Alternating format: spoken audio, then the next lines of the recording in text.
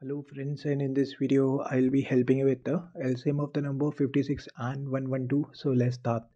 So first of all we need to write down both the numbers like this 56 comma 112. Next thing we need to do is we need to start with the lowest prime number 2 and check if any of the number is divisible or not. So if we check both the numbers are divisible by 2 so divide both the numbers by 2 so first will become as 28 on dividing and second will become as 56. Again both the numbers are divisible by 2. So we'll divide both the numbers by 2 and we'll be having 14 and 28 respectively. Again both the numbers are divisible by 2.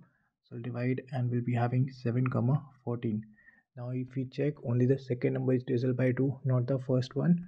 So we'll divide the second number by 2 and first one we'll just copy it down. Second number will become as 7 now if we check none of the number is divisible by 2 and on that if you see the number 7 the number 7 is a prime number. So it is only divisible by itself. That is 7 and once we do so we'll be having 1 comma 1 once we get that we need to stop and do one last thing. That is LCM of 56 and 112 would be multiply whatever we have on the left hand side.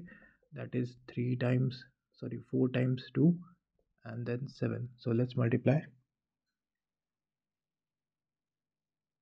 the answer would be 112 or the LCM would be 112 so this is all. If you found the video helpful please do hit the like button. Do consider subscribing and thanks for watching